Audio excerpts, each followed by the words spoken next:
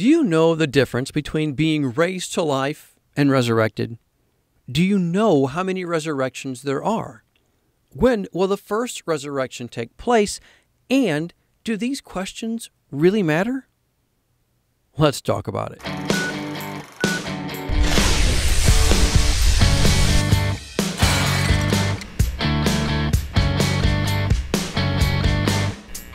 Hey, this is Off the Cuff, and I'm Steve from TorahFamily.org. When talking about the resurrection, I've had many people tell me how they believe Yeshua resurrected many people from the dead during his ministry. And so they believe those miracles Yeshua did were considered resurrections. This is where we need to understand the difference between being raised from the dead versus being resurrected. You see, one who is raised from the dead will undergo another physical death, as in the case with Lazarus.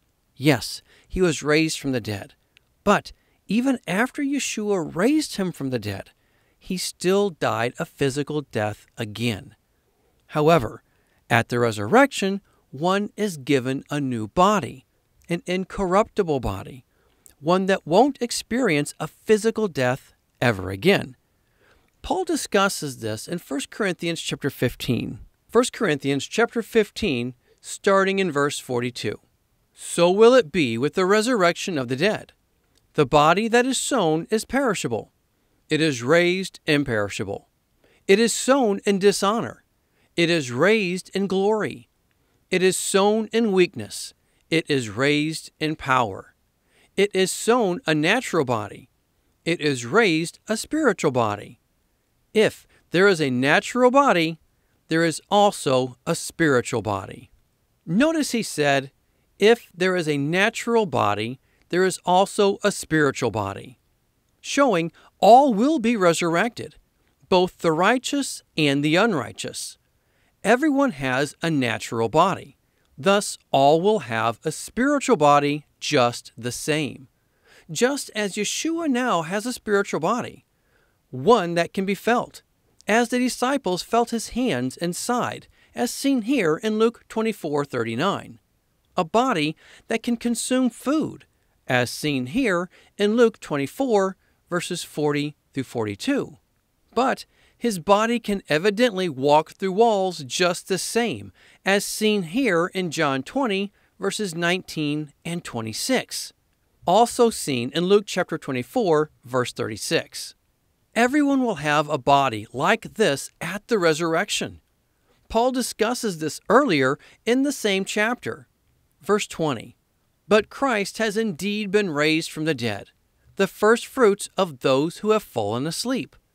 For since death came through a man, the resurrection of the dead comes also through a man.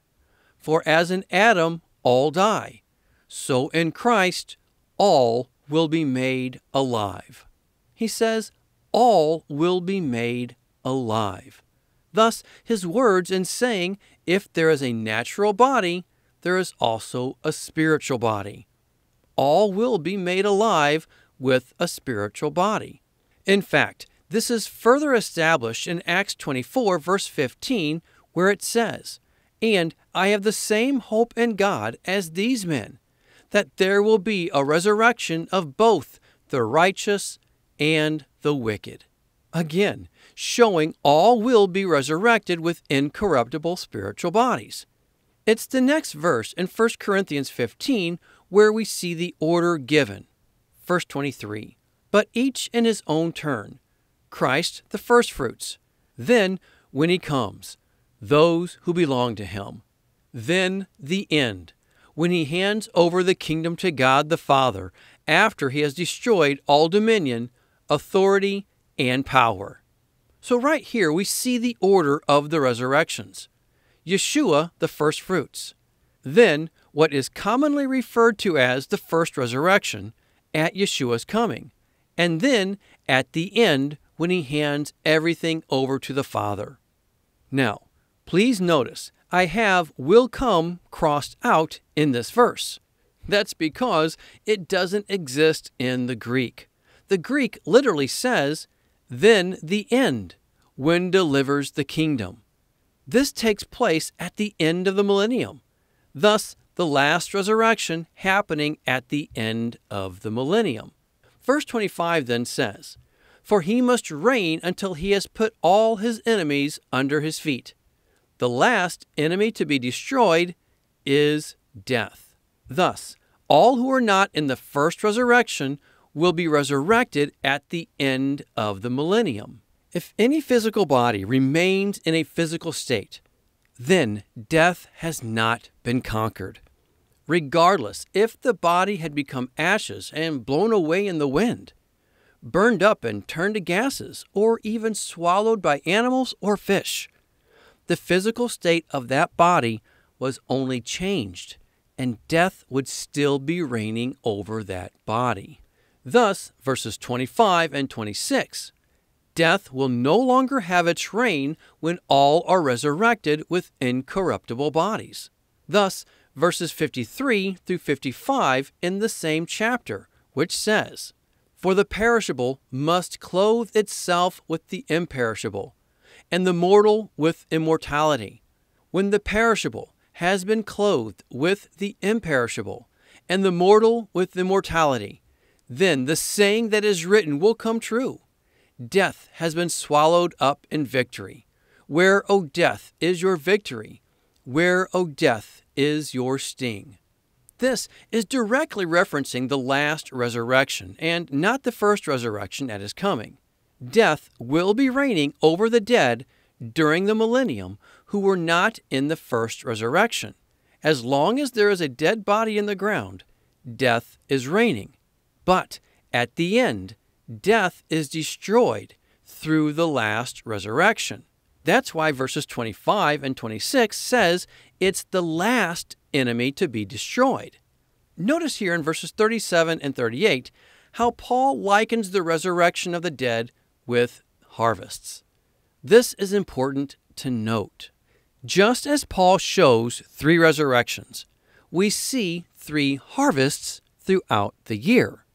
In fact, the three resurrections are directly tied to the three yearly harvests.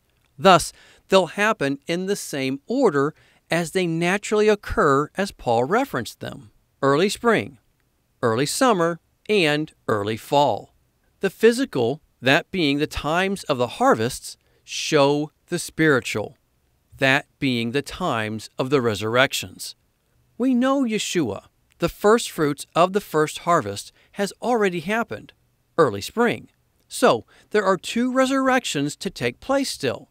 Two resurrections that are in line with the remaining harvests just the same.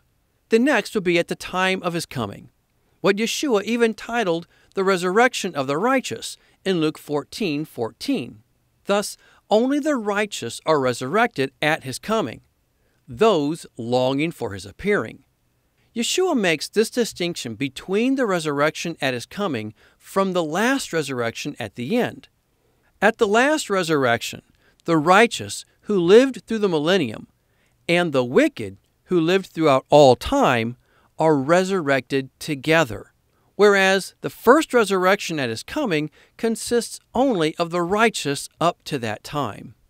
As Yeshua always gave his parables and illustrations with real life circumstances, we see the resurrections will happen in the order of real life, just the same with the harvests. There are many assumptions as to when the next resurrection will happen.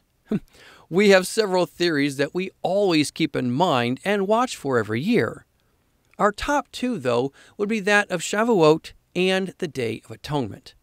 However, when it comes to the given numerical order connected with the three harvests and patterns of biblical history, Shavuot is always our first consideration. Besides Shavuot lining up with the next harvest for the resurrection, we know the first two harvests have a first fruits presentation. That which is made on what is traditionally called the Day of First Fruits, and then 50 days later on the Day of Shavuot, also known as Pentecost. Yeshua was resurrected as the firstfruits offering at the first harvest, seen here in 1 Corinthians 15:20. Ironically, we also see the 144,000 offered as a first fruits offering, seen here in Revelation chapter 14, verses 3 and 4. When would that happen? well, since Yeshua was the first fruits offering in the early spring, they would be the first fruits offering on Shavuot, keeping in line with the natural harvest and biblical timeline of the holy days. But Shavuot lines up with more than just the natural cycle of the harvests and the first fruits offerings. It lines up with patterns given to us in biblical history, too.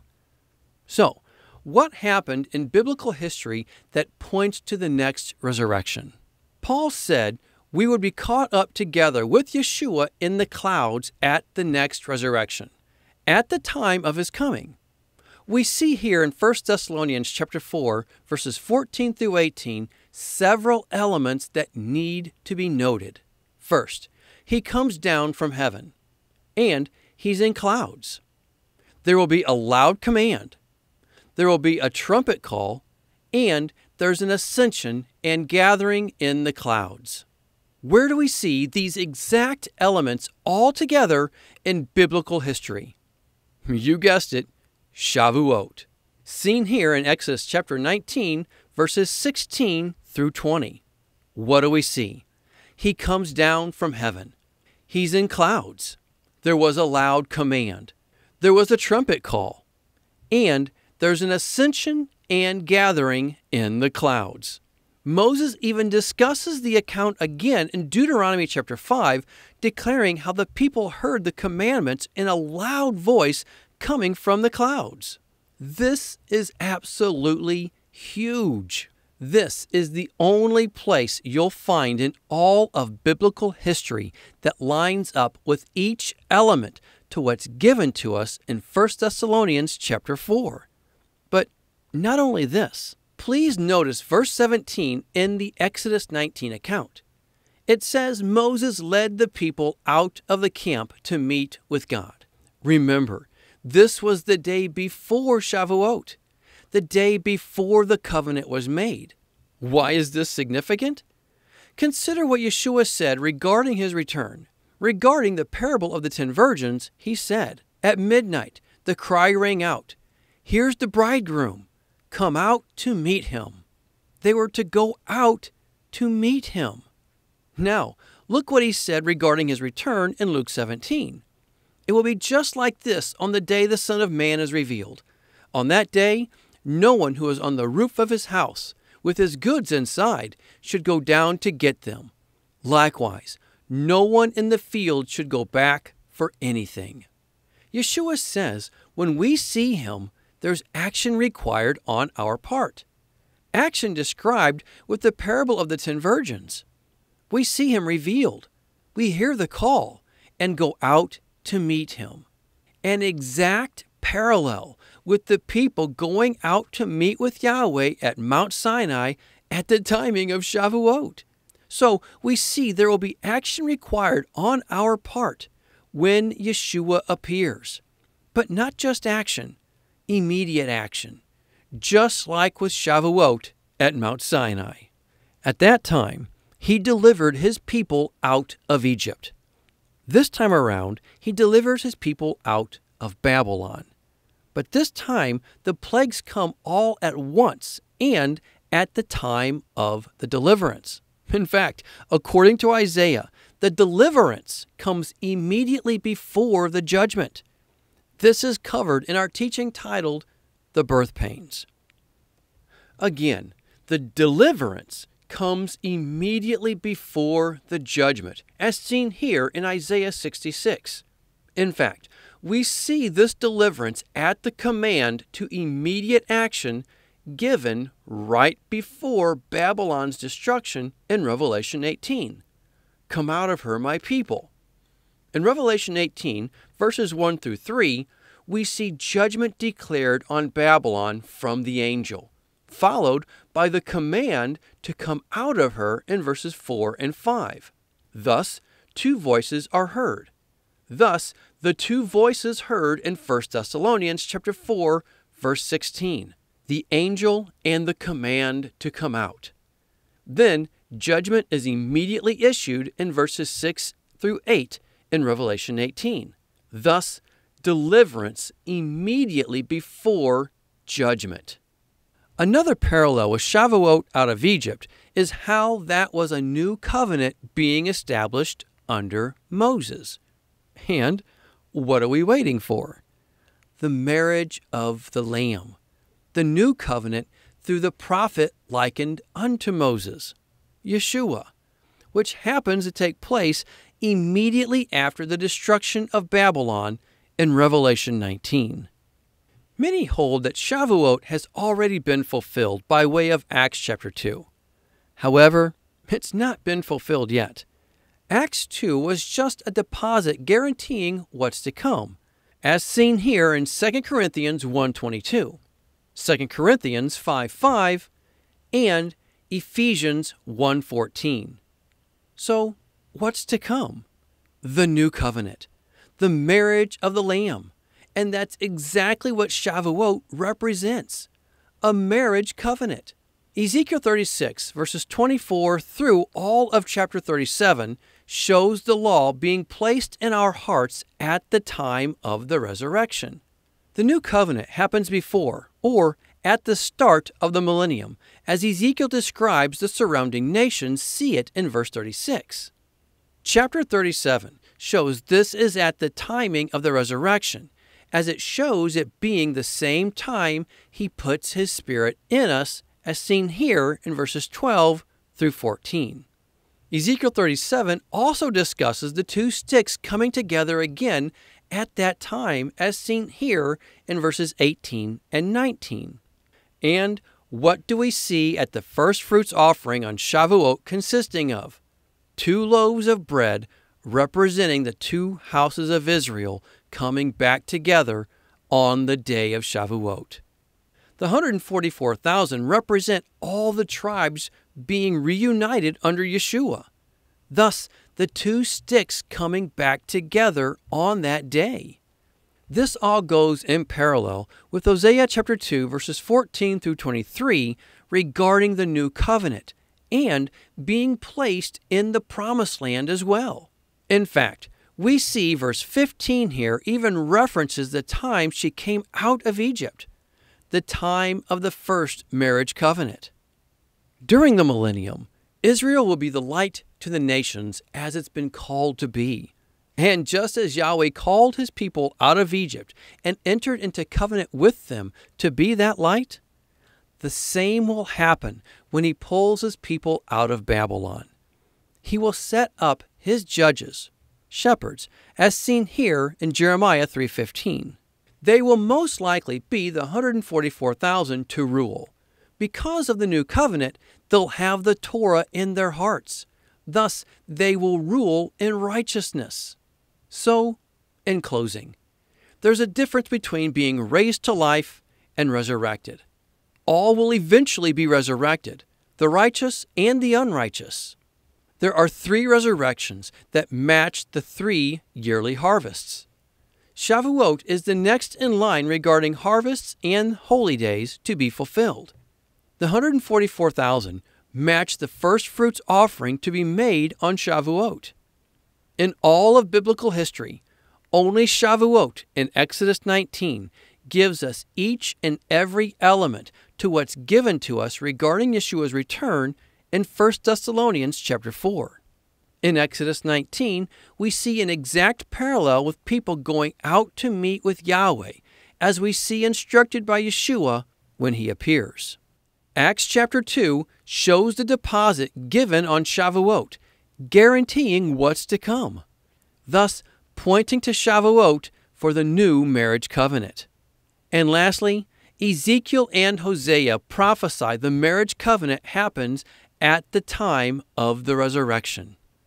As you can see, Shavuot is definitely a time to watch.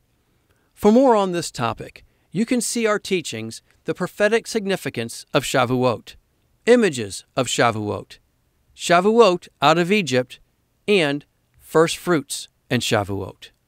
Well, that's all I have. Think about it, pray about it, but more than anything, be a doer of the word and not a hearer only. Until next time, shalom.